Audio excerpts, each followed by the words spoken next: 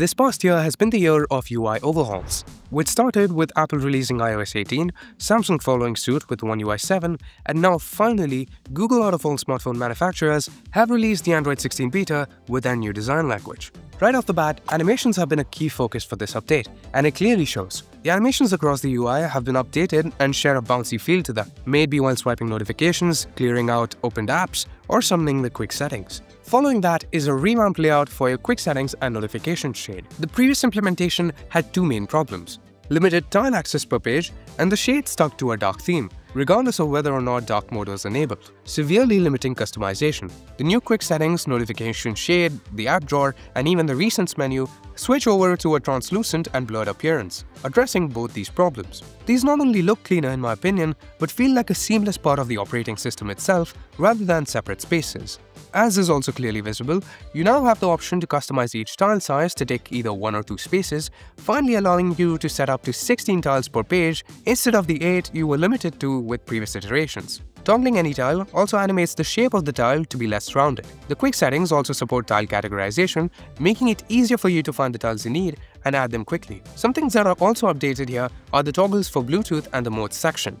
In earlier implementations of these settings, enabling these options would require you to go through a selection pop-up screen instead of just allowing you to toggle them on or off. The new implementation still has the pop-up screen, though also provides a toggle switch allowing you to turn on or off the respective setting with a single tap. And I'd love to see a similar implementation for the Wi-Fi toggle as well.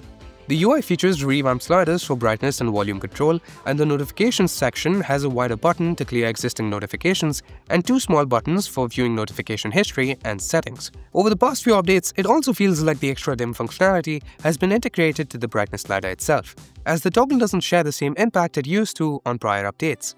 Moving to the status bar and again we see an updated look, with the battery percentage now found inside its icon, with different colors indicating different status conditions. The quick settings page also shows an estimate of how long your device will last before needing a charge based on your current usage patterns. The recents menu has also been tweaked slightly, now featuring the app info and various multitasking options at the top left. Honestly, I'd predict this to go through more changes, as the title of the app being mentioned as a part of the preview does obscure on-screen content. I'd also suggest moving the Clear All button to the bottom of the interface for easier access rather than requiring a full swipe across the apps currently running. The Settings app has undergone a visual overhaul, bringing back color-coded icons we'd last seen on Android 9.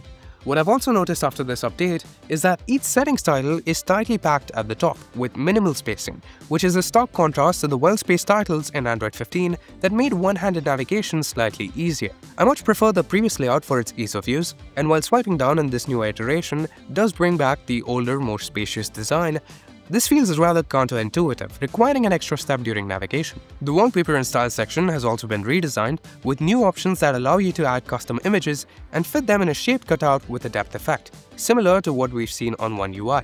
There are also options that allow you to add weather effects, which also detect depth and affect the look of your wallpaper accordingly. There have also been some changes with the lock and home screen formatting, with the position of the date, day and weather being slightly adjusted on the lock screen, and the at-a-glance widget now being slightly smaller on the home screen, allowing for more room for an extra row of apps or widgets, and is still as stubborn as ever, not being removable at all. In terms of new clock styles, sadly, apart from the option to change the font thinness or thickness for the default watch style, there aren't any new ones available on this beta at the moment. There's also been a change to the default font, which honestly I found quite odd. It's now more bold and rounded compared to the previous typeface, which looked clean and served its purpose.